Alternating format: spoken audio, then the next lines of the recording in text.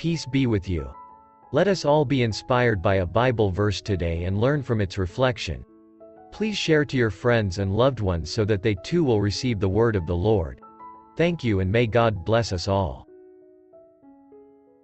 Luke chapter 11 verse 13. If you then, though you are evil, know how to give good gifts to your children, how much more will your Father in heaven give the Holy Spirit to those who ask him? Jesus is teaching about prayer and encouraging his followers to be persistent. Jesus describes the Father in terms of, how much more. How much more gracious, loving, caring is God than any human father. Sometimes our perception of God is an improved version of our own mortal father. But the biblical view is radically different. Our human fathers, as good as they may be, are fallen people. As we look through the Bible we see God's care of Hagar, a supposedly insignificant slave. We see his immense patience with his people under Moses, under the judges, and under the prophets. We see his plans, for Joseph, Job, and Esther, are plans for good in spite of the difficulties they go through. And we see his supreme love in sacrificing his own son. When we come to God in prayer it is important to see him the way the Bible teaches.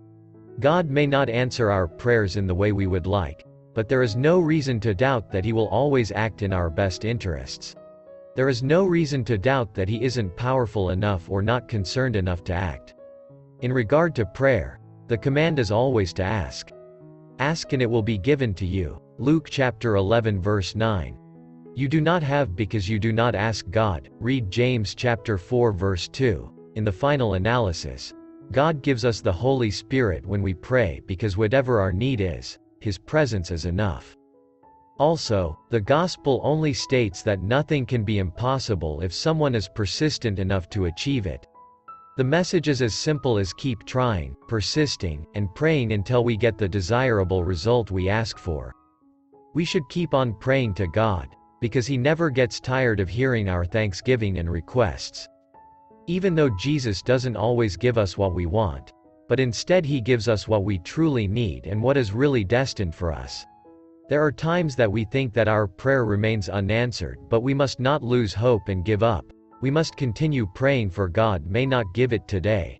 But God always give us what we deserve in the most perfect time.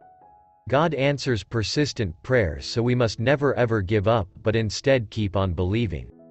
Jesus said that God answers prayers when we seek and call upon His mercy. But then again, should we just pray when we are in dire need?